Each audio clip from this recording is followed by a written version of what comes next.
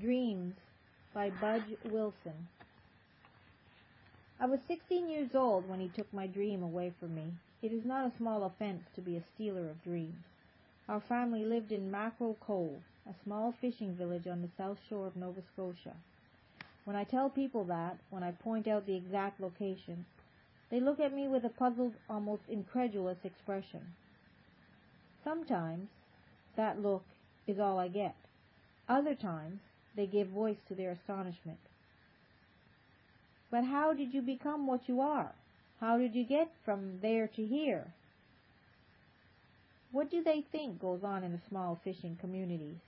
Nothing? Do they assume that such places contain people with no brains, no ambition, no dreams? They look at me as though my skin had just turned green, as though I'd been cast in some inferior mold and had, by some miracle of agility or cussedness, found a way to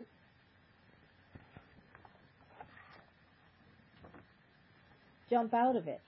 By the time those questions started, I was a junior executive in an oil company.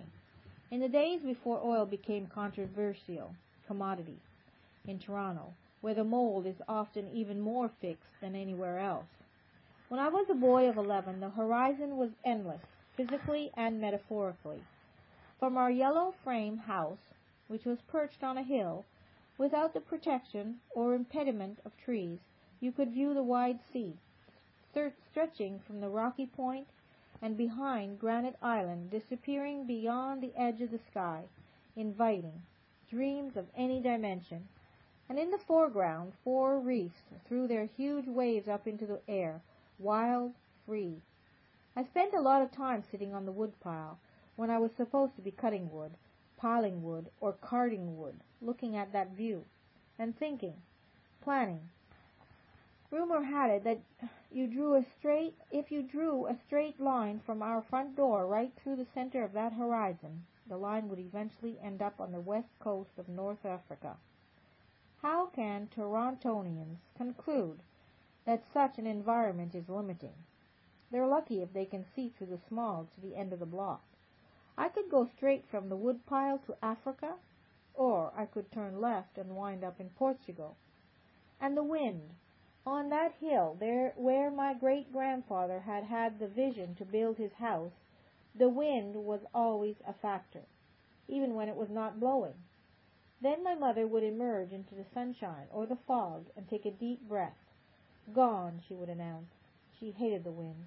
She was from near Truro, where the slow, muddy Salmon River just limps along its banks, shining brown and slithery in the dead air. Dead air, that's what inlanders seem to want. Then they feel safe or peaceful. But those were two words that meant nothing to me at that at that time. What is it about kids that makes them so blind and deaf for so long? Some of them anyway. How can they go charging into life with such a certainty that all is well, without in fact a passing thought as to whether it is or not? It's just there. Mackerel are for jigging, the sea is for swimming, a boat is for rowing and around in, the gulls are for watching, particularly on those days when the wind is up, when they just hang high in the air, motionless, wings wide, riding the storm. I was like that when I was eleven, sailing along with no effort, unconscious of the currents and turbulence that surrounded me. Twelve seems to be a favorite time for waking up. What is so special about twelve that makes it such a hazardous, such a brittle age?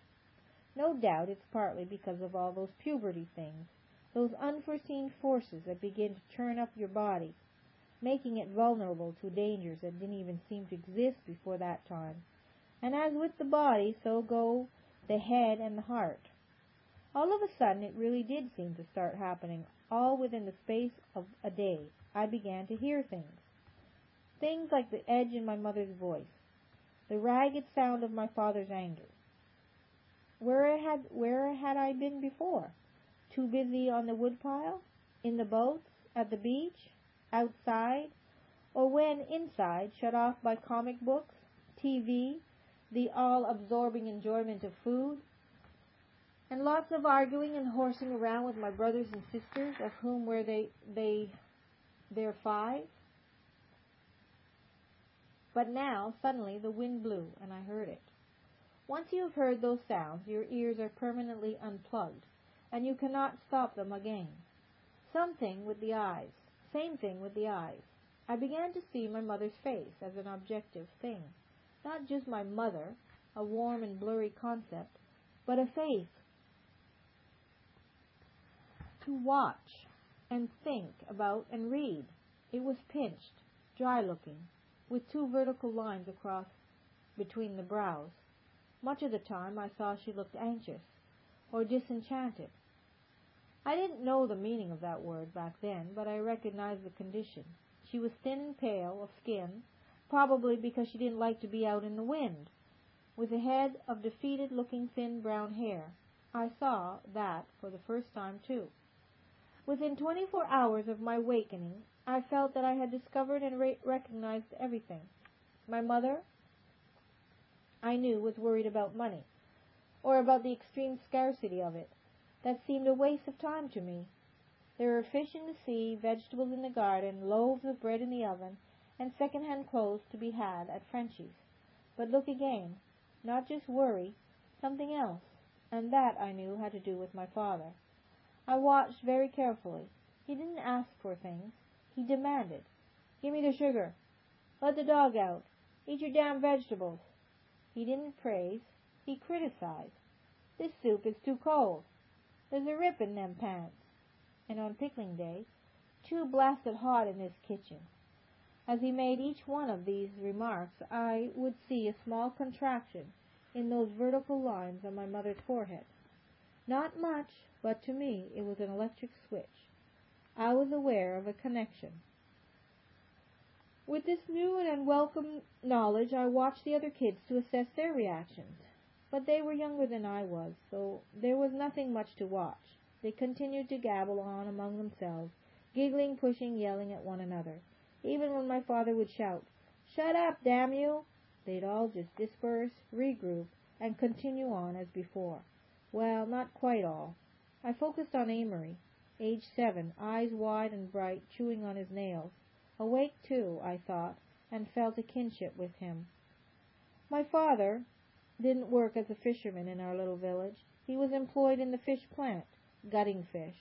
Slash and gut, slash and gut, eight hours a day, five days a week, fifty weeks a year. Enough to limit the vision of any Bay Street Torontonian. I heard people in our village talk about what it was like to work with him. A real jewel of a man, said one woman to my mother. Patient and right considerate, always ready to help out. I looked at Ma while the woman was talking. I was thirteen by then and very skilful at reading faces. She's struggling, I concluded, to keep the scorn out of her face. It was a fixed mask, telling nothing except to me. A man friend of Pa's once said to me, I sure hope you realize how lucky you are to have a father like him. He's some kind, a real soft-spoken man. I said nothing and adjusted my own mask. When my father had left the house that morning, he yelled back at my mother, Get your confounded books off the bed before I get home tonight. I'm sick of you with your smart-ass ways. Then he'd slam the door so hard that a cup fell off the shelf. My dream was a simple one, or so it may seem to you. I wanted to be the most talented fisherman in Mackerel Cove. Talented. I can see the incredulous looks on the faces of my Toronto colleagues.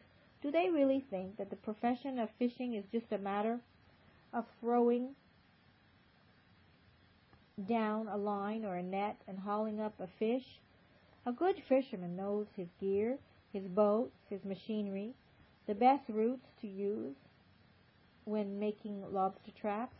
He knows how to sniff the air and observe the sky for signs of unforecasted winds and fogs. He knows his bait, his time of day, his sea bottom, the choices of where to go and how soon. A talented fisherman knows all these things and much more. And, in spite of the wrenching cold, the disappointments, the fluke the fluky comings and goings of the fish population, he loves what he is doing with his life. I know this to be true. I spent half my boyhood tagging along with any local fisherman who'd put up with me. on their Cape Island boats, their Tancooks, or just in their dories. No one on Bay Street can describe to you the feeling of settling, of setting out through a band of sunrise on the water, trailing five seine boats, a faint wind rising, or the serenity that fills your chest as you strike out to sea, aimed at the dead center of the horizon, focused on Africa.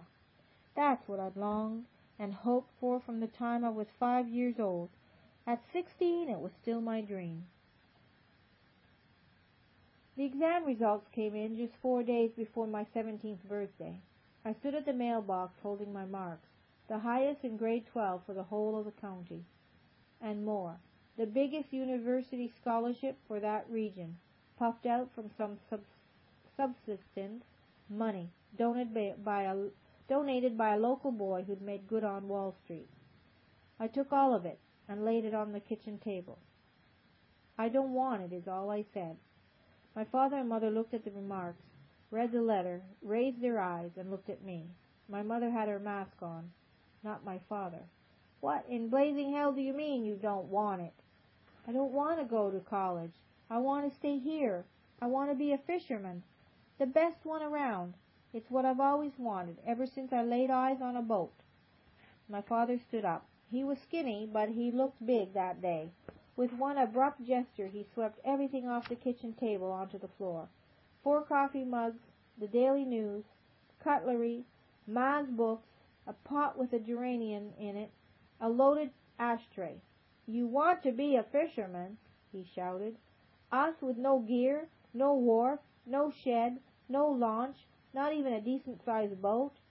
No, young fella, you turned down that offer and you got but one route to take. Me, I'll teach you how to do it, because I'm the best gutter in the plant. He paused for a breath. Then again. No, damn it, you just pitch out your fancy dreams and grab that scholarship, because I'm sure not going to keep you here any longer come fall. Not if you can make money with that fool book learning that your prissy ma seems to have passed along with her mother's milk. He smashed his fist down on the empty table and kicked his way out of the back door. Ma died when I was 24, just one week before I received my MBA from the University of Toronto. I'd picked up two other degrees on the way and had sailed through university with accolades and scholarships. There was there I was, half an orphan, embarking on a life of prosperity and maladjustment, cut off by my past and my present from my original dream. I skipped graduation and flew home for the funeral. I stayed three weeks. Pa was silent and shrunken looking, although he was only fifty-five. He sat around a lot, guzzling beer, going through two packs of cigarettes a day. The only kid left at home was Amory, and he looked as though he'd like nothing better than to jump ship. Thin and fidgety, he'd startle if you so much as snapped your fingers. He was working in the plant, too, gutting. Thinkin' o' closin' down the plant, said Pa one day. No fish worth a darn most of the time anyways. Foreign vessels scooping 'em all up before they have a chance to spawn. He didn't say this angrily. He said it wearily, as though he had nothing but lukewarm water flowing through his veins, and no blood transfusion in sight. The day I left, I waited until Amory and Pa had departed for work. Then I went out and sat on the wood pile. The offshore wind was blowing strong and dry, and the gulls were coasting around in the sky, wings spread, barely twitching. The sun was well up, casting a wide path over the ruffled water. While I watched, a Cape Islander crossed the path, low in the water with a big catch of mackerel.